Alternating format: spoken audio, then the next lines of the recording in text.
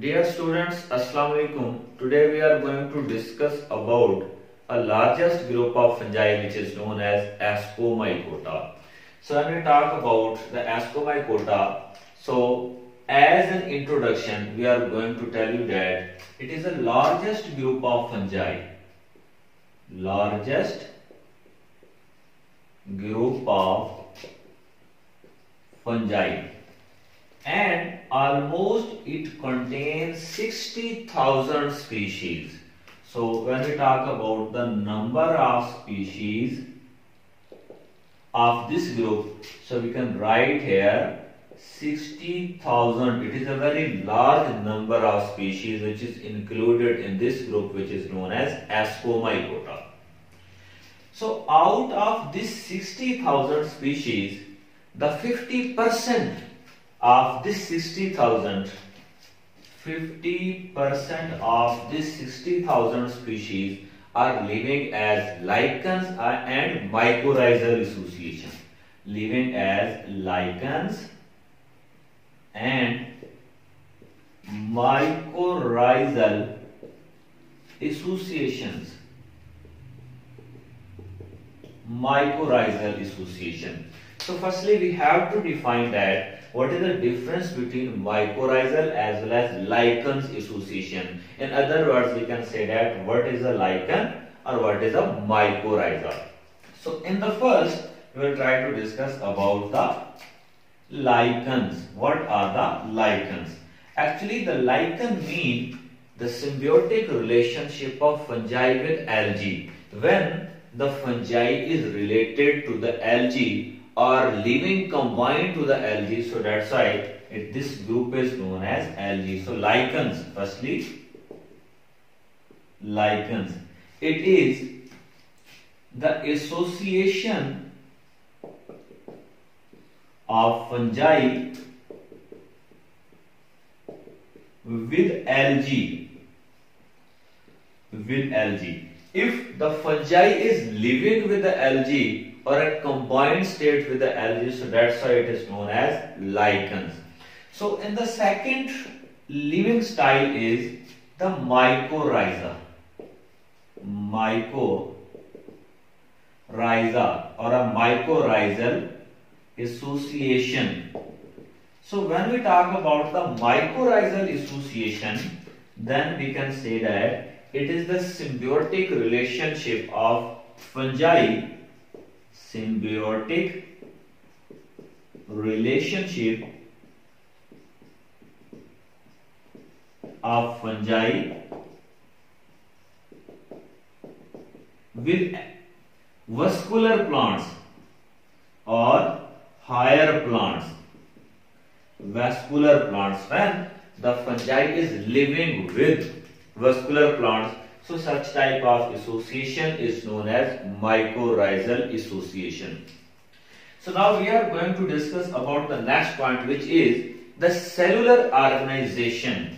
So we can write here cellular organization.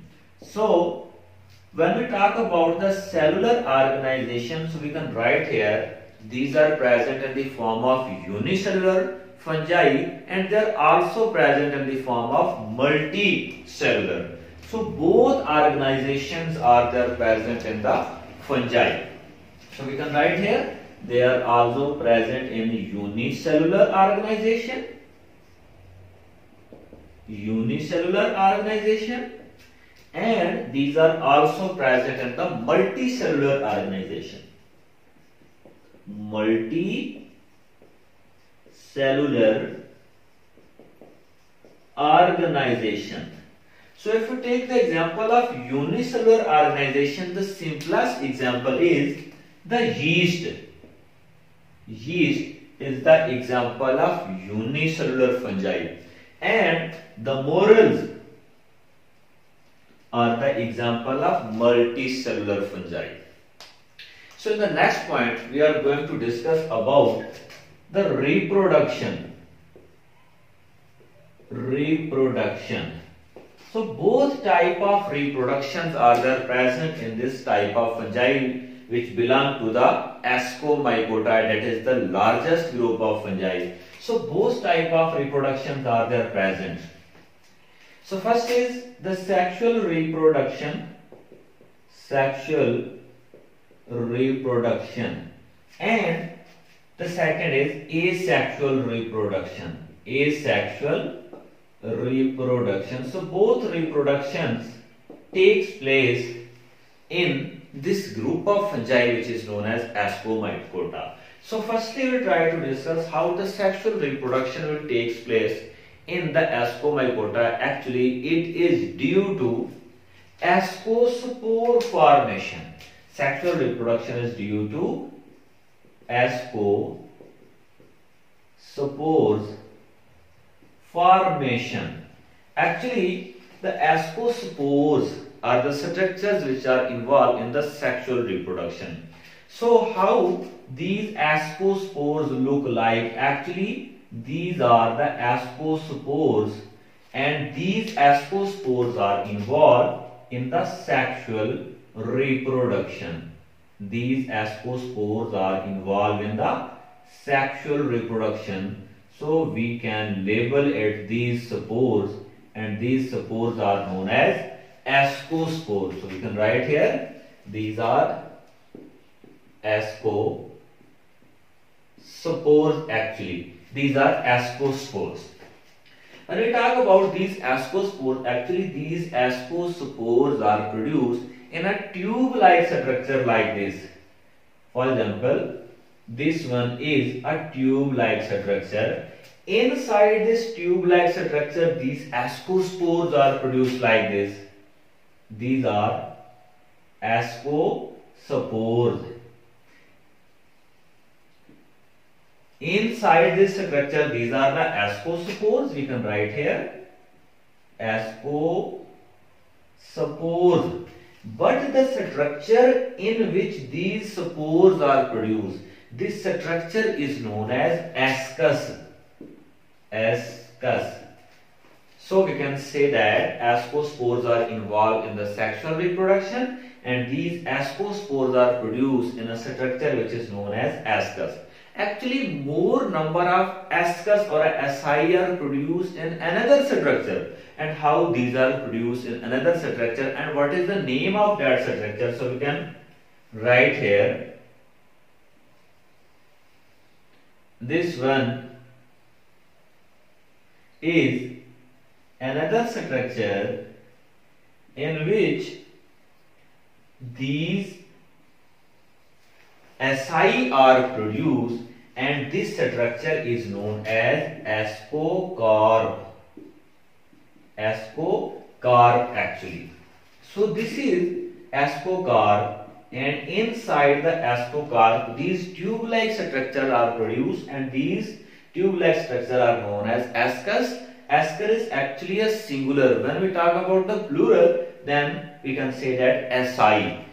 So these asci are produced inside this structure and these are actually asci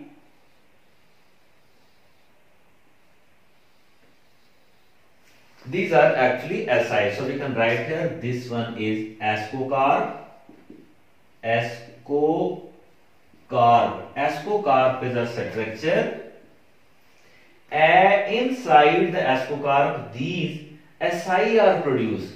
These are known as asci. Sorry, asci. Inside these asci, which are tube-like structure, these spores are produced and these spores are known as ascospores these spores are known as ascospores.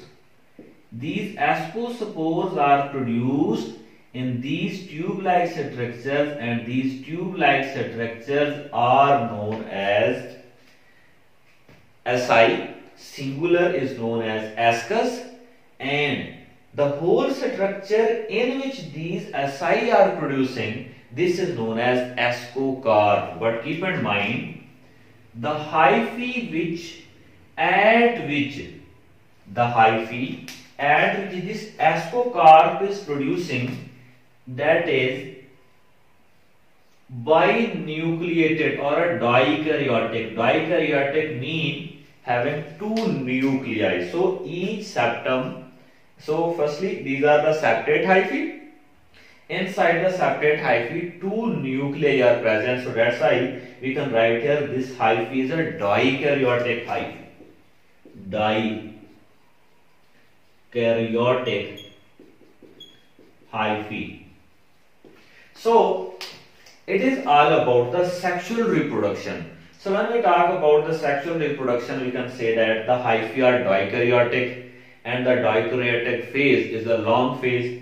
Dikaryotic hyphae actually make a structure. This whole structure is known as ascocarp. Inside the ascocarp, these tube-like structures are produced and these tube-like structures are known as asci and singular is known as ascus ascus and inside the each ascus these spores are produced and these spores are known as ascospores these are known as ascospores and these ascospores are involved in the sexual reproduction so we can write here these are ascospores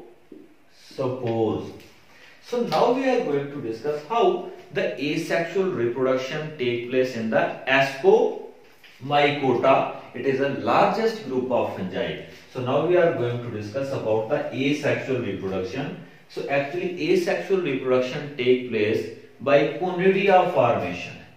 It is due to conidia formation. So asexual reproduction in the Ascomycota is with the help of conidia formation. And all the hyphae in the Ascomycota are septate. So what means septate? Septate hyphae. Septate hyphae. And inside this, the long phase is a dikaryotic phase. It means each septa contain two nuclei. So when the septa contain two nuclei, so we can say that it is a dikaryotic phase and actually this dikaryotic phase is the is responsible for the formation of ascocarp. Ascocarps are involved in the formation of asci or ascus and ascus are responsible for the formation of these ascospores which are involved in the sexual reproduction. But asexual reproduction takes place by the conidia formation. Actually these are the spores which are involved in the asexual reproduction in the Ascomycota. So it was all about as an introduction of.